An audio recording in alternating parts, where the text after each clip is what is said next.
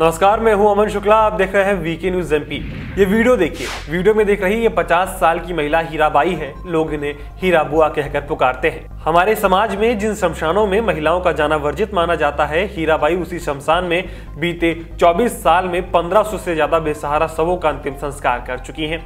हीरा की माने तो वो इतने लोगों का अंतिम संस्कार कर चुकी हैं कि अब तो उनको गिनती भी नहीं याद भोपाल के पुराने शहर के मालीपुरा में रहने वाली हीराबाई का एक बेटा भी है, जिसका नाम मोहित है।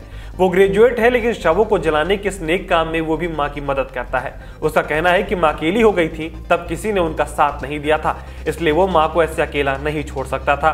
हीराबाई का कहना है कि उनको शवों को जलाने के इस काम में इतनी खुशी मिलती है कि वो इस बात को शब्दों में बयां ही नहीं कर सकती।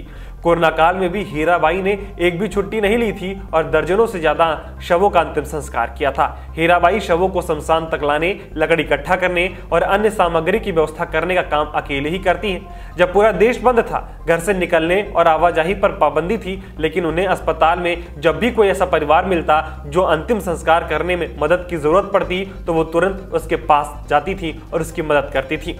हैरानी की बात तो यह है कि इन्होंने छोला और भदभदा विश्राम घाट पर कई अंतिम संस्कार परिजनों की मौजूदगी में खुद ही किए और आर्थिक रूप से परिजनों की मदद भी की।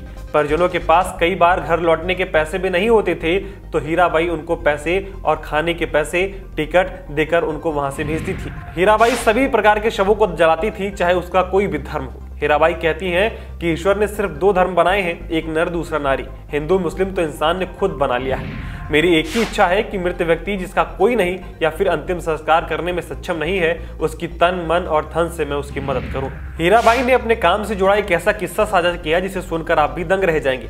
हीराबाई ने तीन साल पहले की बात बताते हुए कहा कि भतीजे की बारात निकलने वाली थी, तभी पुलिस का फ़ोन आया कि एक शव का अंतिम संस्कार करना है। इसके बाद हीराबाई तुरंत हमशान गई और शव का अंतिम संस्कार कर फिर अपने भतीजे की बारात में शामिल हुई। फ़िलहाल हीराबाई जो काम कर रही हैं, वो वाकई में काबिल तारीफ़ है, क्योंकि हीराबाई ऐसे लोग आज की दुनिया में मिलना बहुत मुश्किल है। इस खबर में सिर्फ़ इतना ही, खबर कैसी लगी कमेंट कर ज़रूर बताएँ। साथ ही खबर पसंद आए तो दोस्तों के साथ शेयर भी करें और मध्य प्रदेश से जुड़ी ऐसे ही खबरें देखने के लिए देखते रहें वीक न्यूज़ धन्यवाद।